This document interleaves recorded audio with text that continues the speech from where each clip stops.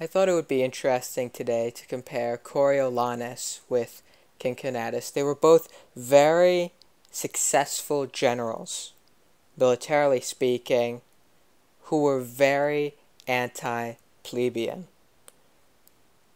Allow me to speak about Coriolanus first. He earned his cognomen after taking the Volscian town of Corioli, shown on the map, in 493 BCE. But his views on the plebeians caused him to ally with the same Volscians he had just defeated and march against Rome in 491 BCE. He is persuaded by his mother Veturia and his wife Volumnia to halt his attack on what was his home. The Volscians end up killing him for his treachery against their city. Cincinnatus was did not have the same response.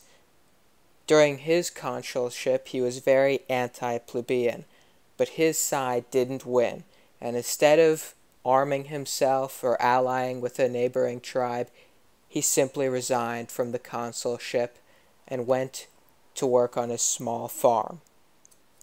But in 458 BCE, the Roman Senate asked that he lead their troops into battle as dictator to relieve Roman forces who were fighting against the Aequi.